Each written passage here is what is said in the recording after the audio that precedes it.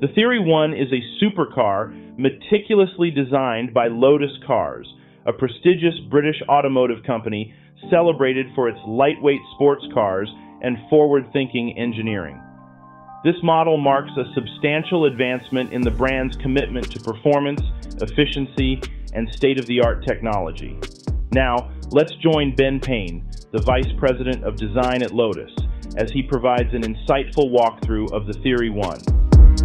This is Theory 1, and it's my pleasure to introduce you to our vision of the future of performance vehicles.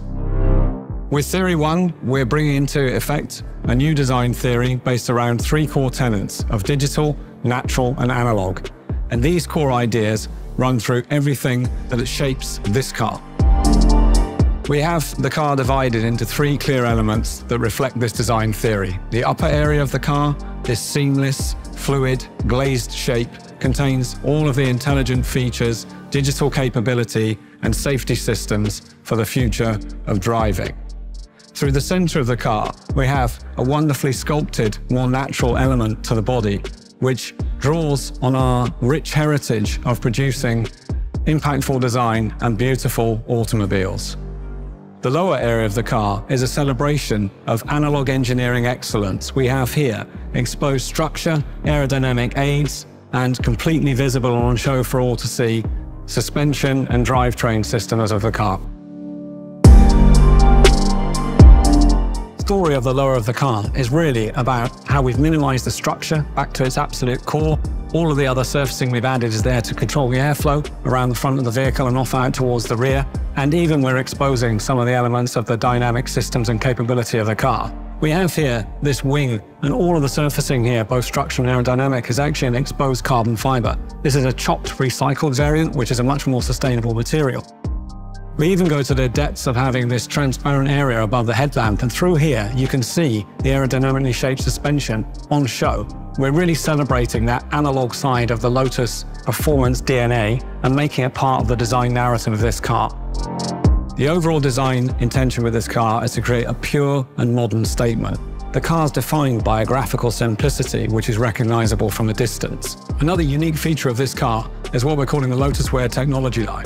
This is actually a reinterpretation of the functional split line that ran around the S1 Esprit. In that case, it was joining two panels together, but for this car and for the future, we're actually zoning all of the technology we need in terms of digital capability, end-to-end -end driving, and indeed an expression of external UI UX. So in this feature line, we have rear view camera systems that deploy LiDAR embedded cameras and sensors, and then this really, really cool OLED feature, which allows the car to talk to you as the owner and indeed other road users and pedestrians. Coming back to the rear of the car, that technology line runs through with the laser lighting, the LiDAR systems, and everything else we need to interact with the car. Mounted above that, we have an active rear wing, a system controlled by the intelligence in the vehicle, which amplifies the effect of the more passive and analog elements beneath. For this car, we've also developed a unique door system. The idea here is to solve the entry egress problem that you commonly have with high performance vehicles.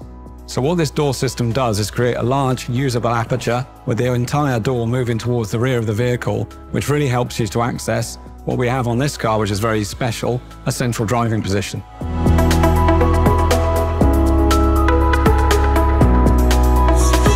Because the door opens right away into the roof and half of the sill structure moves away with the door, I can actually stand inside the footprint of the vehicle behind the rear tyre. This allows me to just step down into the car. I sit on the surface in front of the passenger seat, slide across into driving position. We've got steer-by-wire, drive-by-wire, and that means the controls automatically move to me. The concept of the Lotus Wear technology line is also mirrored inside the car. So we have everything from intuitive lighting that communicates with you through onto a really great distribution of the digital content that wraps around me when I'm in the driving position, but also the ability to talk to and interact with the three passengers. So we have a small screen on the steering wheel, proper haptic touch points and real switches to allow us to properly engage with the drive. And all of the, the digital systems are projecting and displaying content where it's perfect for my eye line, allowing me to really focus on driving the car. It's very much about eyes on the road and hands on the wheel.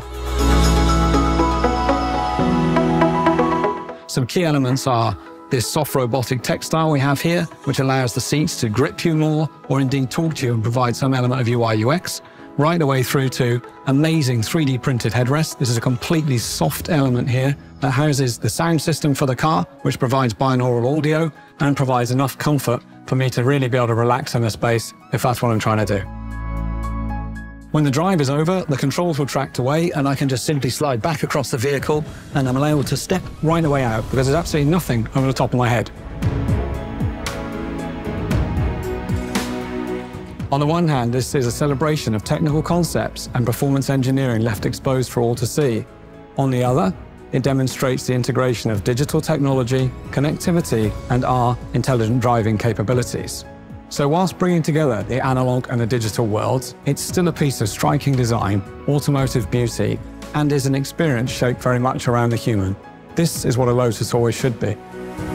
The really exciting thing, though, will be to show you how this influences what comes next.